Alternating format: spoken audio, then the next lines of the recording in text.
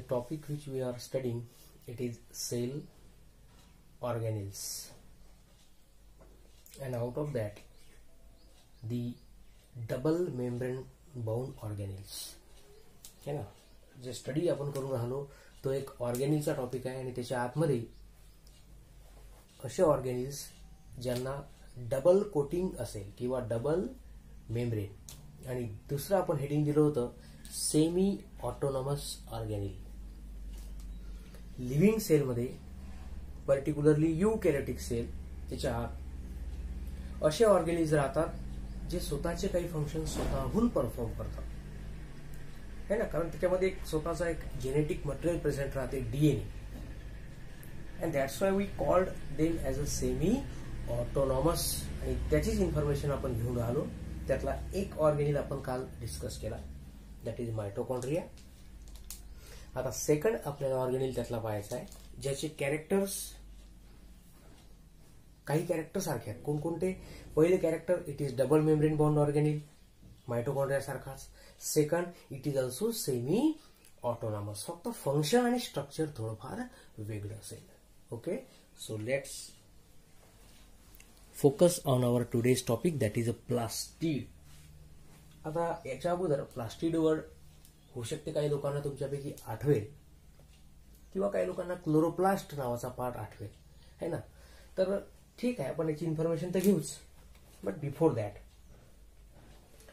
जर आपण you कॅरोटिक सेलपैकी प्लांटचं example घेतलं तर त्या प्लांटमध्ये व्हेरायटीचे ऑर्गन्स प्रेझेंट राहतात. कारण मल्टी सेल्युलर ऑर्गॅनिझम आहे. आणि या व्हेरायटीच्या पार्टमध्ये वेगवेगळ्या प्रकारचे कलर्स असतात. म्हणजे आज तुम्हाला कलर्सच्या टॉपिकचा काहीतरी स्टडी करायचा आहे living ऑर्गॅनिझममध्ये may be plant or animal why do the organism possess some colour कळत आहे का? काय सांगायचं मला तुम्हाला? आता अॅनिमलला बघून जा. फक्त प्लांटचा विचार करा.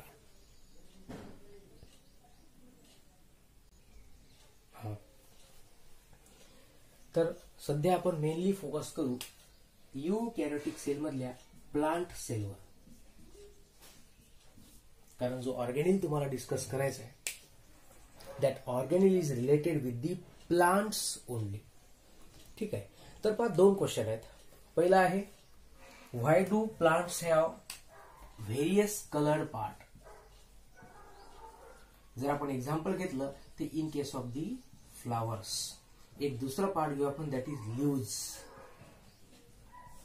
जर कोणी इन जनरली विचारलं की प्लांटमध्ये ग्रीन कलर कोणता असतो तर आपण क्विकली त्याचा आन्सर देऊ शकतो की leaves of the plant they have green colour almost ग्रीनचा जो ग्रीन कलरचा जो पार्ट असेल इट इज ल्यूज आणि जर असा क्वेश्चन केला की which is the attractive part among the plant त्याच्यामध्ये ब्राईट कलर असतात व्हेरायटीचे कलर असतात then we will answer the flowers and fruits also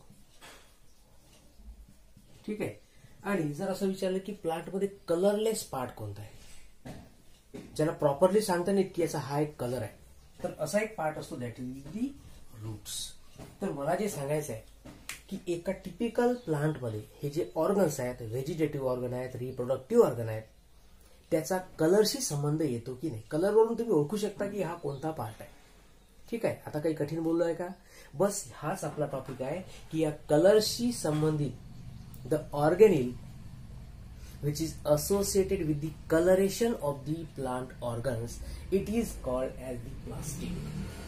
आणि आपल्याला माहिती असायला पाहिजे की जेव्हा कलरचा संबंध येतो मित्रांनो तेव्हा त्या ठिकाणी पिगमेंट्स यायला पाहिजे. ठीक आहे? पिगमेंट हा असा एक लाइट सेन्सिटिव्ह सबस्टन्स आहे पा ज्याच्यामध्ये लाईटला कॅच करण्याची कॅपॅसिटी असते. आणि कलर आपल्याला या सराउंडिंगमध्ये कलर का दिसते? तर त्याच्यामागे फार मोठं मेकॅनिझम असते. एकतर जेव्हा जेव्हा लाइट असेल तेव्हाच आपण त्या कलरला ऑब्झर्व करू शकतो. मग सनलाईटला जी गोष्ट ऍब्सॉर्ब करू शकते पाच गोष्ट लक्षात ठेवा. सूर्यापासून येणारे जे रेज राहतात त्याला आपण त्याला रेडिएशन्स म्हणतो लाइट रेज म्हणतो. तर लाइट रेजला ऍब्सॉर्ब करणं आणि दुसरी गोष्ट लाइट रेजला रिफ्लेक्ट करणं.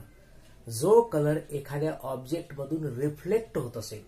समजा तुम्हाला रेड कलरचं एखादं फ्लॉवर दिसून राहिलं येलो कलरचं दिसून राहिलं व्हाईट कलरचं तर तो कलरेशन काय असेल? It is the reflection of the light याचा अर्थ त्या ऑब्जेक्टमध्ये असा काहीतरी एखादा पार्टिकल आहे सफ्टन्स आहे जो लाईटला काय करून राहिला? रिफ्लेक्ट करतो. आणि अशा सफ्टन्सला मित्रांनो तुम्हाला म्हणायचं आहे pigments so any substance which have capacity to absorb the light and also to reflect the light are called as pigment आणि असे व्हेरायटीचे पिगमेंट्स प्लांटमध्ये प्रेझेंट राहतात. आणि त्यावरच आपण त्याचा कलर ठरवतो. ग्रीन पार्ट कोणता आहे? कारण त्याच्यामध्ये ग्रीन कलरचे पिगमेंट्स आहेत. ऑरेंज कलरचा असेल तर ऑरेंज कलरचे पिगमेंट्स असतील. अशा टाईपचे पिगमेंट्स प्लांटमध्ये राहतात. आणि सेलचा विचार जर केला आपण so the cell which have such type of the pigment त्या सेलचा असा कोणता पार्ट आहे पर्टिक्युलरली ऑर्गेनिल कारण आपला मेन टॉपिक कोणता आहे organelle so the organelle of the plant cell which contain pigments are called as plastid term clear झाली तुमची डबल मेम्ब्रेन आहे सेमी ऑटोनॉमस आहेच पण तिसरी गोष्ट जी महत्वाची जसं आपण काल रेस्पिरेशनचा विचार केला होता तसा आज तुम्हाला विचार करायचा आहे पिगमेंटचा कलरेशनचा and such organelle are call to be the plastid chloroplast हे त्याचं एक्झाम्पल आहे जे तुम्ही स्ट्रक्चर डायग्रामॅटिकली इथे पाहून राहिले. तर हे या प्लास्टिडचं काय आहे? It is one of the type of plastid नुसतं क्लोरोप्लास्ट म्हटलं बाबा ते ग्रीन कलर आहे फोटोसिंथसिस आहे म्हणून काम चालत नाही. असे किती साऱ्या व्हेरायटीचे प्लास्टिड्स प्लांटमध्ये प्रेझेंट राहतात. ओके? पण आपण मेन टॉपिक क्लोरोप्लास्ट स्टडी करत असतो. तर ठीक आहे हे झालं तुमचं इंट्रोडक्शन तर म्हणून आपण आज या ऑर्गॅनिकची डेफिनेशन तयार करू शकतो. The double membrane bound organelle.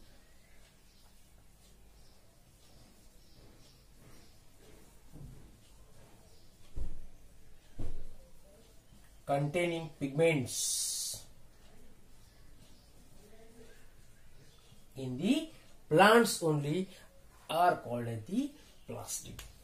Okay आता पाहू आपण या प्लास्टिकचे वेगवेगळ्या प्रकारचे शेप त्याचे टाईप्स आणि त्याच्यानंतर आपण कॉन्सन्ट्रेट करू.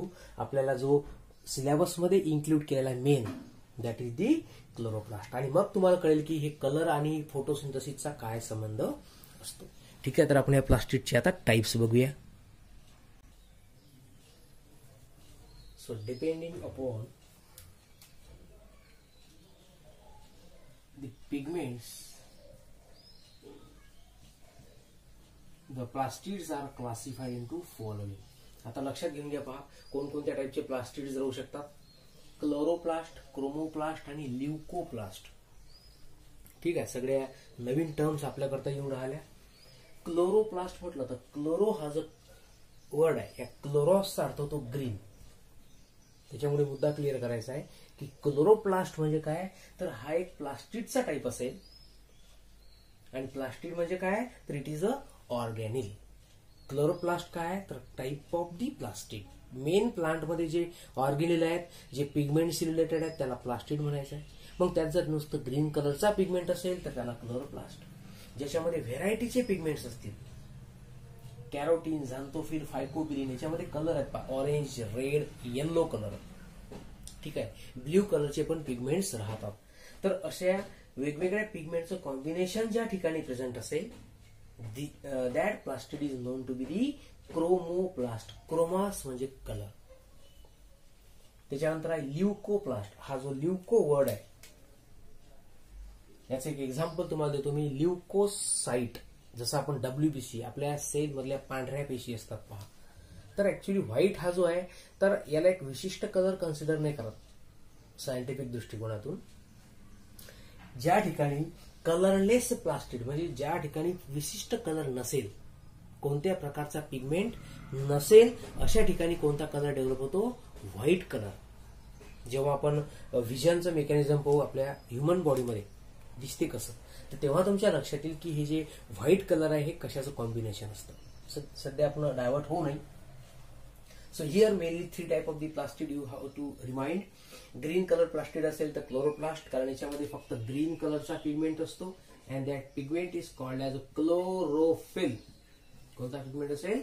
क्लोरोफिल मग प्लांटच्या ज्या ज्या पार्टमध्ये क्लोरोफिल पिगमेंट असेल त्या ठिकाणी फोटोसिंथसिस घडेल and it will help in the formation of sugar so it involve in the photosynthesis process ठीक आहे.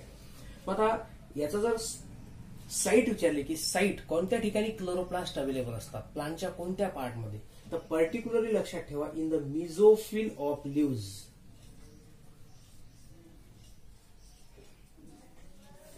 leaves तर माहितच आहे. आता राहिला फक्त मिझोफिल तर फाईल म्हणजे लिव्ज आणि मिझो म्हणजे मिडल जर एक पर्टिक्युलर लीफ आपण कन्सिडर करून राहिलो.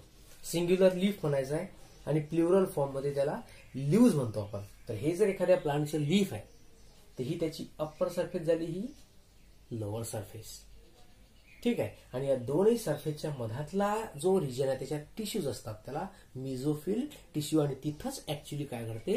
फूड फॉर्मेशन घडते. म्हणून म्हणायचं आहे की chloroplast are mainly concentrate in the mesophyll part of the leaves अर्थात स्टेममध्ये पण राहू शकतात. अपार्ट फ्रॉम द ल्यूज असा कोणता पार्ट आहे जो ग्रीनचा राहू शकते? तर प्लांटचा जो स्टेम आहे तो वीक जनरली जे वीक स्टेम असतात ते ग्रीन कलरचे असतात. एक दुसरं आणखी एक्झाम्पल आहे कॅलिक्स फ्लॉवरमध्ये सुद्धा क्लोरोप्लास्ट राहतात पण फक्त कोणत्या पार्टमध्ये only green areas so that all part are responsible for the photosynthesis कसं घडते काय घडते हे पूर्ण मेकॅनिझम तुम्हाला दुसऱ्या लेसनमध्ये पाहण्यात येईल. पण इथे एक मुद्दा क्लिअर होऊन जातो. का ज्या ठिकाणी क्लोरोफिल पिगमेंटचा संबंध असेल बरं हाच पिगमेंट का फोटोसिंथेसिस करतो? बाकीच्या पिगमेंटमध्ये सुद्धा कॅपॅसिटी नाही आहे का? जेवढी पिगमेंट्स आपण इथं मांडून राहिलो आता जसं या क्रोमोप्लास्टमध्ये कॅरोटीन झांथोफिल फायकोबिलिन्स हे सगळे पिगमेंटचे प्रकार आहेत. हे तर प्लांटचे नाव आहेत. आपल्या स्किनमध्ये सुद्धा पिगमेंट असते. आणि तुम्हाला ते नाव माहीत असेल पाहिजे इट्स मिलॅनिन पिगमेंट कोणतं पिगमेंट आहे? मेलॅनिन आणि या पिगमेंटचं प्रमाण जेवढं जास्त असेल तेवढ्या त्या स्किनचा कलर डार्क असतो. आणि त्यानुसार मग आपल्या पर्सनमध्ये वेगवेगळे कलर असतात. आहे ना? लक्षात येत आहे का? गोऱ्यापासून निम गोऱ्यापर्यंत निम गोरा सावळा काळा वगैरे वगैरे. जे असेल ते. तर पिगमेंटचे टाईप असतात आणि त्याच्यानुसार त्या बॉडीचा कलर डिसाईड होतो. तर हे सगळे प्लांटचे पिगमेंट्स आहेत. मग प्रत्येकामध्ये लाइट तर ऍब्सॉर्ब होऊ शकतो कोणी? लाइट ऍब्सॉर्ब होऊन राहिला लाइट रिफ्लेक्टिव्ह होऊन राहिला. मग नुसतं क्लोरोप्लास्टच का फोटोसिंथसिस करते? हा सगळ्यात महत्त्वाचा क्वेश्चन आहे तुमच्या इलेव्हन ट्वेल्थच्या लेवलचा आणि याला रिझन एकच आहे की दोज पिगमेंट महत्वाचं आहे लक्षात ठेवायचं आहे those pigment which can absorb the sunlight and convert it जे लाइट एनर्जीला केमिकल एनर्जीमध्ये कन्व्हर्ट करतात दुसऱ्या स्वरूपामध्ये कन्व्हर्ट करू शकतात. तेच पिगमेंट फोटोसिंथसिस करतात. बाकीचे ऍब्सॉर्ब करतात आणि रिफ्लेक्ट पण कन्व्हर्ट नाही करत. कारण एनर्जीचा रूल आहे. Neither be created nor be destroyed it can be transformed from one form to another मग जो पिगमेंट या एनर्जीचं ट्रान्सफॉर्मेशन करू शकते तो फोटोसिंथसिस करेल. आणि तो कोणतं एक्झाम्पल आहे? Chlorophyll okay so this is the perfection about chloroplast. म्हणून लक्षात ठेवायचं आहे की क्लोरोप्लास्ट म्हणजे ग्रीन कलर प्लास्टिड ज्याच्यामध्ये कोणता पिगमेंट आहे? विद्यार्थी मित्रांनो क्लोरोफिल. तर असा एक पार्ट आहे हा. त्याच्यानंतर क्रोमोप्लास्ट. आता याच्यात ग्रीन सोडून बाकीचे पिगमेंट्स असतील जसं येलो आहे ऑरेंज आहे रेड आहे. मग असा पार्ट जो कलरफुल असेल जसं की fruits and flowers this is concentrate in the flowers and the fruits okay? आता राहिला कोणता कलरलेस प्लास्टिक तर आता इथं पा फोटोसिंथसिसचा संबंध येत नाही कारण हा कलरलेस आहे. याच्यात असा कोणता पिगमेंट नाही आहे जो त्या लाईटला कलर त्या पार्टला कलर प्रोव्हाइड करेल. है ना? आणि कन्वर्ट तर करतच नाहीये. कन्वर्ट करणार एकच आहे कोणता? क्लोरोफॉर्म मग आता हा ल्यूजमध्ये आहे. हा कलर पार्टमध्ये झाला. तर बाकीचे जे पार्ट आहेत प्लांटचे जसे की रूट राहिलं. तर त्याच्यामध्ये कोणतं फोटोसिंथसिस घडत नाही. कलरचंही नसतं संबंध. मग काय करेल? हे प्लास्टिक काय करतात? हे वेगळे फंक्शन परफॉर्म करतात. आणि ते वेगळं फंक्शन आहे storage of the nutrients storage of the food material okay मग ते मॉडिफाईड रूट असो की नॉर्मल रूट असो प्लांटचं म्हणून त्यांनी काय केलंय की कोणत्या न्यूट्रियंटला स्टोअर करतात? त्याच्यानुसार त्यांनी या ल्युकोप्लास्टचे परत काय केले? टाइप्स केले मित्रांनो. That is amyloplast elaioplast and aleuroplast आणि हे काय स्टोअर करतात? तर अमायलोप्लास्ट स्टोअर दी स्टार्च त्याच्यानंतर elaioplast store the oils and aleuroplast store the protein okay जसं आता एक्झाम्पल जर तुम्हाला देतो म्हटलं जसं आता पोटॅटोज है ना पोटॅटो हे की कोणत्या प्लांटचं फ्रूट नाही आहे ते ऍक्च्युली त्या प्लांटचा स्टेम असतो मित्रांनो. जरी अंडरग्राऊंड वाढतो तरी तो स्टेम आहे. आणि ते स्टेम काय करते? तो ग्रीन कलरचा नाही आहे तुम्हाला माहीत आहे. पोटॅटोज आहे ना? तर त्याचा जो कलर आहे तो कलर कशामुळे ड्यू टू ल्युकोप्लास्ट आणि त्याच्यामध्ये प्रमाण कशाचं असतं? स्टार्च म्हणजे potato possess which type of plastid तर लक्षात आलं पाहिजे तुमच्या अमायलो प्लास्ट मग अशा ज्या ज्या गोष्टी तुम्ही ऑइली कन्झ्युम करता त्याच्यामध्ये इलायोप्लास्ट असेल. जे प्रोटीन रिच असतील त्याच्यामध्ये last. So in this way the various kinds of plastids are existed in the plants ठीक आहे? आता काय करायचं आहे? यापैकी आपल्याला महत्वाचं आहे फोटोसिंथसिस संबंधित असणारा. म्हणून आपण आता डिटेलमध्ये नॉलेज घेऊ कशाचं?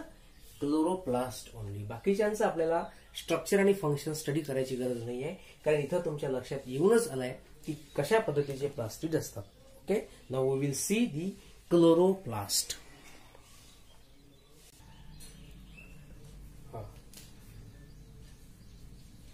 आता फक्त क्लोरोप्लास्टचाच विचार करू आपण. What are chloroplast These are the green colored plastid.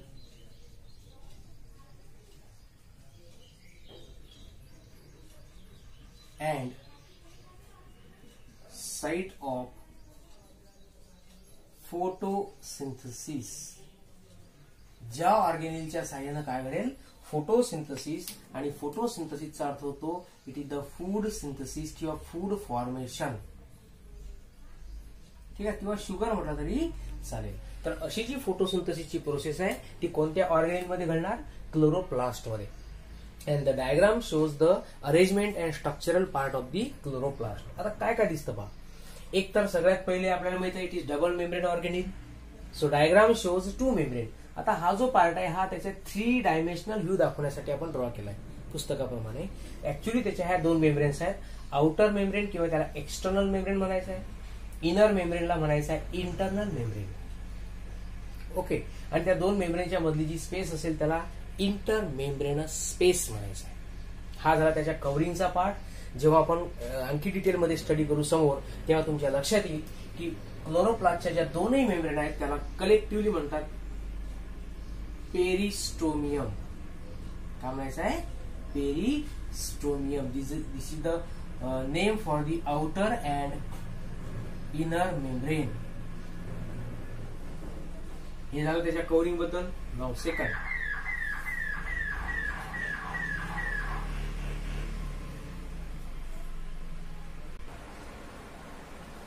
हा ठीक आहे पहा.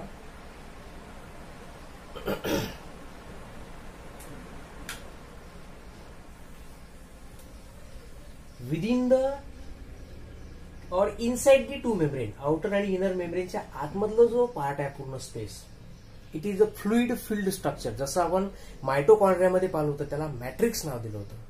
तसं या ठिकाणी हा जो लिक्विड पोर्शन तुम्हाला दिसून आलं it is called as the stroma काय म्हणायचं तुम्हाला stroma.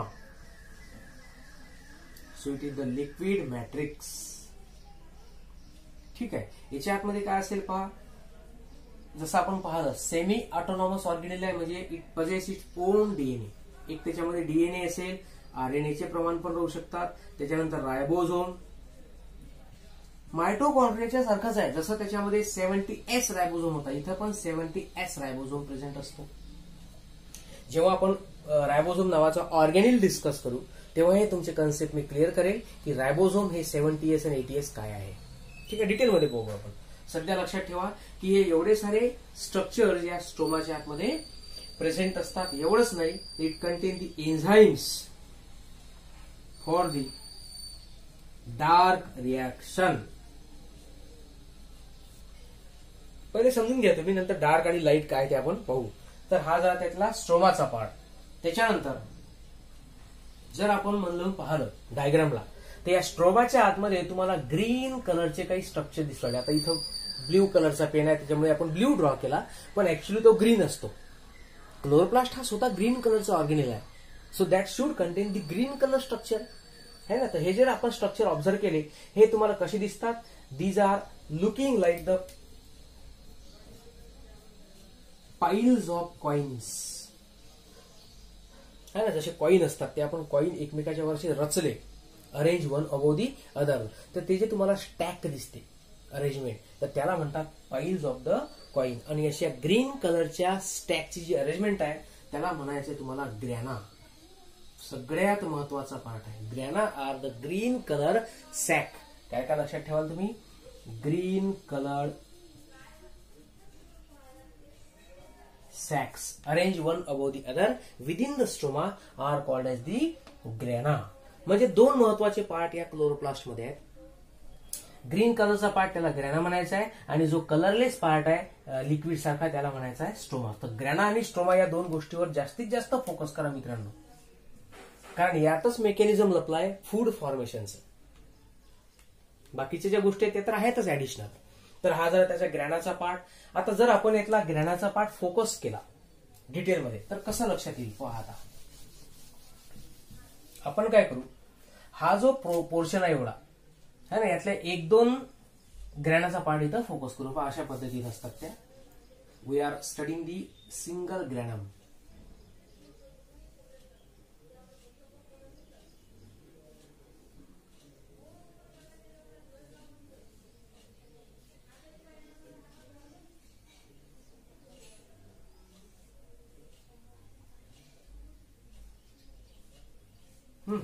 this is the granum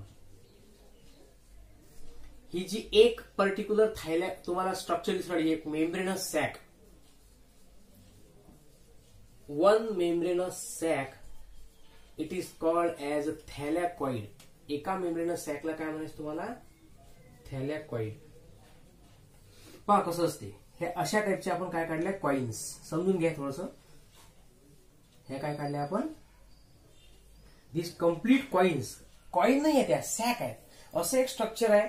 flatten ज्याच्यामध्ये काहीतरी स्टोअर होऊ शकते. म्हणून त्याला सॅक म्हणतात. मेम्ब्रेन पासून बनली म्हणून मेम्ब्रेनच सॅक तर कलेक्टिव्ह स्ट्रक्चरला आपण काय नाव दिलं? ग्रॅना त्यातला एक एक मेंबर जो असेल त्याला आपण म्हणतो ग्रॅनम किंवा आपण त्याला पर्टिक्युलरली नाव देतो थायलॅकॉइन है ना? या कॉईन मधला या स्टॅक ऑफ द कॉईन मधला एक कॉईन त्यातला एक फ्लॅट पोर्शन त्याला म्हणायचं तुम्हाला थॅलॅक्वाइड असे दोन थॅलॅक्वाइड मी या ठिकाणी फोकस केले. आणि अर्थात हा कशाचा पार्ट आहे?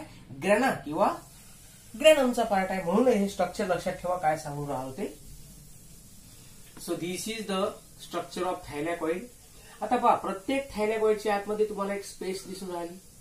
This space is called as lumen काय म्हणायचं आहे? ल्युमेन आणि या ल्युमेन मध्ये असतात विद्यार्थी मित्रांनो फार डिटेलमध्ये पाहावं लागते वर्ग अकरावा असो की बारावा. याच्यामध्ये तुम्हाला काही स्फेरिकल स्ट्रक्चर दिसून राहिले.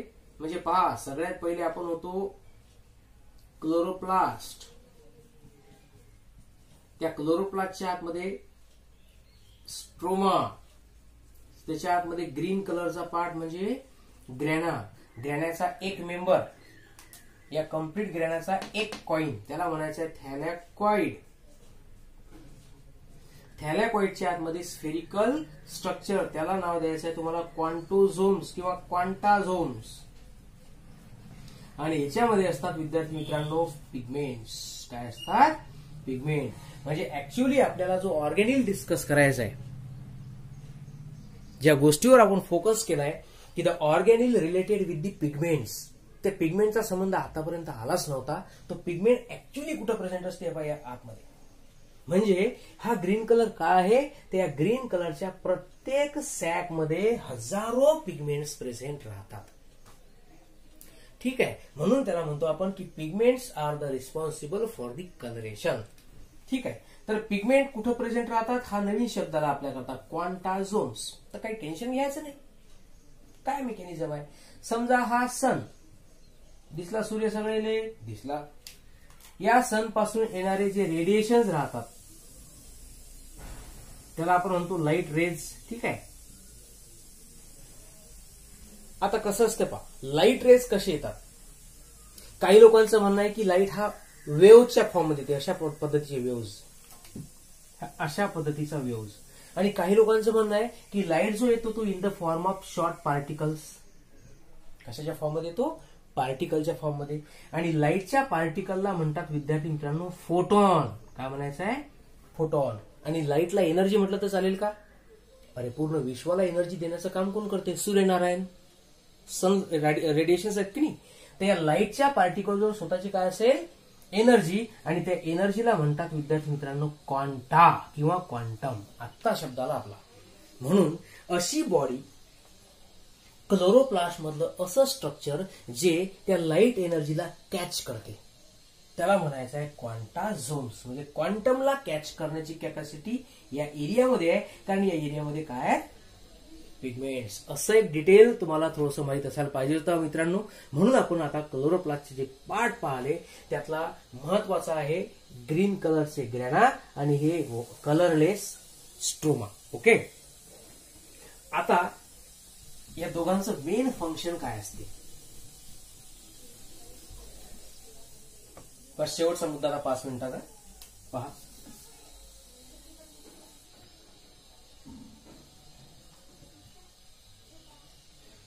या ग्रॅनाच्या आतमध्ये विद्यार्थी मित्रांनो लाइट रिॲक्शन्स घडतात. गुरुजी बाबा ते लाइट रिॲक्शन काय? स्ट्रोमामध्ये डार्क रिॲक्शन घडतात. आता परत कठीण शब्द आले तुमच्याकरता. फोटोसिंथसिस लाईटवर डिपेंड आहे की नाही? डेफिनेटली डिपेंड आहे. मग ज्या रिॲक्शन लाईटच्या प्रेझेन्समध्ये घडतात लाईटवर डिपेंड आहेत त्याला म्हणायचं आहे लाइट रिॲक्शन ठीक आहे? आणि याच्यात काय होत असते माहिती आहे काय? लाइट एनर्जीचं रूपांतर केमिकलमध्ये केलं जाते. कशामध्ये केलं जाईल? केमिकलमध्ये केमिकल एनर्जी आणि कालच पाहिलं आपण केमिकल एनर्जी आपल्या सेलमधली कोणती आहे? एटीपी ओके आणि या एटीपीचा वापर करते कोण? स्ट्रोमा कोणते रिॲक्शन घडतील डार्क याला लाईटची गरज नाही आहे डायरेक्ट लाईटमध्ये तर हे काहीतरी एनर्जी तयार झाली ना. आता या ठिकाणी स्ट्रोमाला लाईटची गरज आहे का? आणि लाइट असला तरी याच्यात पिगमेंट्स आहेत का? पिगमेंट फक्त या ग्रहणामध्ये. म्हणून ज्या रिॲक्शन लाईटवर डिपेंड नसतील लाइट इंडिपेंडंट आर कॉल्ड कोणते रिॲक्शन डार्क आणि याच्यामध्ये तयार होत असते विद्यार्थी मित्रांनो शुगर म्हणजेच ग्लुकोज किंवा कार्बोहायड्रेट. तर अशा पद्धतीनं पूर्ण क्लोरोप्लास्टचं स्ट्रक्चर डिस्क्राईब केलेलं आहे. ओके? जो डीएनए आहे क्लोरोप्लास्ट मधला तो स्मॉल आहे सर्क्युलर आहे डबल स्टँडर्ड मायटोकॉन्ड्रियाच्या सारखंच आहे काहीच फरक नाही. ठीक आहे? फक्त या डीएनएला या ठिकाणी विशिष्ट नाव तुम्हाला द्यायचं आहे that is a plastidome dome shape आहे. थोडासा म्हणून त्याला डोम म्हणायचं आहे. डोंबळा नाही बरं. आणि प्लास्टिक म्हणजे प्लास्टिकमध्ये आहे ना हा प्लास्टिकचा प्रकार आहे. तर प्लास्टिकमध्ये असणारा DNA so it is plastic dome. आणि डीएनए असल्यामुळे या ऑर्गॅनिकला आपण म्हणतो सेमी ऑटोनॉमस ठीक आहे? So this is sufficient for today तर आज आपण पूर्ण लेक्चरमध्ये काय डिस्कस केलाय? प्लास्टिक पाहणे सगळ्यात पहिले. एकदा मी तुम्हाला ओव्हरलुक करून देतो. डबल मेम्ब्रेन ऑर्गेनिल आहेत जे पिगमेंटला स्टोअर करतात त्याला प्लास्टिक बनायचं आहे ग्रीन कलरचे प्लास्टिक असतील तर क्लोरोप्लास्ट ग्रीन सोडून बाकीच्या कलरचे पिगमेंट्स असतील त्याला क्रोमोप्लास्ट म्हणायचं आहे फ्लावर आणि फ्रूटमध्ये असतील. आणि जे कलरलेस प्लास्टिक आहे त्याला ल्युकोप्लास्ट त्यातला क्लोरोप्लास्ट डिटेलमध्ये पाहिला त्याच्या दोन मेम्ब्रेन आहेत. आतमध्ये ग्रीन कलरच्या स्टॅक आहेत. त्याला ग्रॅना लाइट रिॲक्शन घडतात. एनर्जी तयार होते. आणि जो डार्क पोर्शन आहे सॉरी कलरलेस पार्ट आहे त्याला आपण म्हणतो स्ट्रोमा आणि स्ट्रोमाच्या आतमध्ये शुगर तयार होते. त्याला डार्क रिॲक्शन म्हणायचं आहे. ओके बाकीचा जो पार्ट आहे तो आपण उद्याला डिस्कस करू.